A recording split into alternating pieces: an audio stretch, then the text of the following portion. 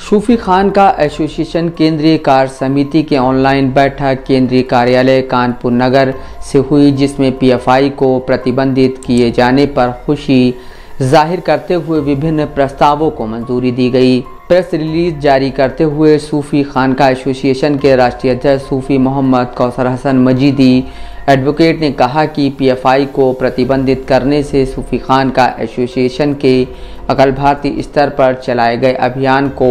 सार्थकता प्राप्त हुई है और कोर कमेटी ने इस पर बधाई देते हुए प्रधानमंत्री, केंद्रीय गृह मंत्री मुख्यमंत्री उत्तर प्रदेश और गुजरात सहित कई अधिकारियों को पत्र प्रेषित किया है।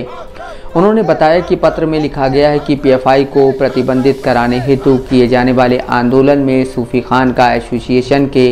पदाधिकारियों पर जानलेवा हमले और अन्य आपराधिक घटनाएँ कारित की गई थी, जिसके संबंध में कई मुकदमे पीएफआई के लोगों के खिलाफ दर्ज किए गए थे, जिसमें थाना जूही कानपुर नगर की पुलिस द्वारा अजमेर शरीफ दरगाह के खादिम और पीएफआई के समर्थक सरवर चिश्ती के खिलाफ दर्ज मुकदमे और पीएफआई के खिलाफ दर्ज एक अन्य मुकदमे में क्लोजर रिपोर्ट लगा दी है। इसके अलावा कानपुर देहात के अकबरपुर कोतवाली में पीएफआई के लोगों के द्वारा सूफी खान का एसोसिएशन के पदाधिकारियों पर गोलियाँ चलाई गईं, जिस पर धारा 307 में मुकदमा दर्ज हुआ था, लेकिन पुलिस द्वारा आज तक उसमें कोई कार्रवाई नहीं की गई। उस बैठक में पीएफआई को प्रतिबंधित किए जाने पर हर्ष व्यक्त किया गया। साथ ही इस बात की चिंता भी व्यक्त की गई कि पीएफआई को प्रतिबंधित कर देना चरमपंथ से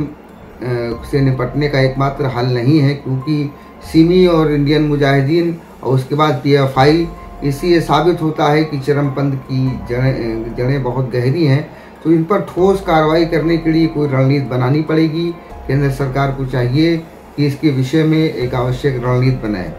साथ ही जो सबसे महत्वपूर्ण बात ये हुई, उस बैठक में चर्चा हुई कि सूफी खान का एसोसिएशन जब पीएफआई को प्रतिबंधित कराने के लिए अखिल भारतीय स्तर पर आंदोलन चला रहा था, उस आंदोलन के दौरान पीएफआई के लोगों के द्वारा सूफी खान का एसोसिएशन के राष्ट्रीय पदाधिकारियों पर जानलेवा हमले किए गए और कई प्रकार के आपराधिक मामले सामने आए, जिसके संबंध में कई एफआईआर और मुकदमे पंजीकृत कराए गए थे। आश्चर्यजनक रूप से पीएफआई के समर्थक अजमेर शरीफ दरगाह के खादिम सरवर चिश्ती के खिलाफ जो मुकदमा दर्ज था, उसमें और एक अन्य मुकदमा जो पीएफआई के लोगों के द्वारा हमला करने का था, थाना जूही कानपुर नगर की पुलिस के द्वारा, उसमें क्लोजर रिपोर्ट लगाने की बात सामने आई है। सूफी खान का एसोसिएशन माननीय प्रधानमंत्री जी से ये मांग करता है कि ये जो क्लोजर रिपोर्टें लगाई गई गई हैं, इसके अलावा जो सूफी खानका एसोसिएशन के पदाधिकारियों पर पीएफआई समर्थकों और कट्टरपंथियों के साथ साठ गांठ करके जो झूठे मुकदमे लगाए गए हैं, वो सारे झूठे मुकदमे वापस लिए जाएँ और वो झूठे मुकदमे लगाने की उच्च स्तरीय जाँच करा करके दोषियों के खिलाफ सख्त कार्रवाई की जाए। सूफी कौशल ने कहा कि आंदोलन के दौरान पीएफआई और कट्टरपंथी शक्तियों के लोगों से साठ गांठ करके थाना जूही की पुलिस को द्वारा उनके खिलाफ झूठे मुकदमे दर्ज किए गए और मिनी गुंडा एक्ट लगा दिया गया। उन्होंने कहा कि पत्र लिखकर मांग की गई है कि पीएफआई के खिलाफ दर्ज मुकदमों में जूही पुलिस द्वारा क्लोजर रिपोर्ट लगाने की केंद्रीय एजेंसी से जाँच कराई जाए और झूठे मुकदमे